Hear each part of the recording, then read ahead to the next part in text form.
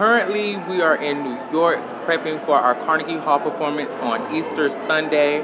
Um, we're really excited. It's really a big opportunity, and we're just happy to be a part. Of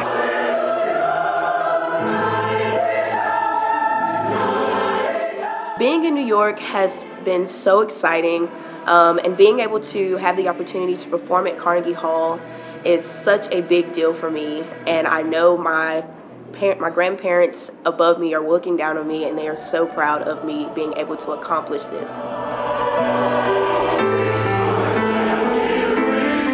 It is absolutely an honor and truly a blessing to be here at Carnegie Hall debuting The Cry of Jeremiah by Dr. Rosephanye Powell with our director, Maestra D'Walla Simmons Burke. And ready, go.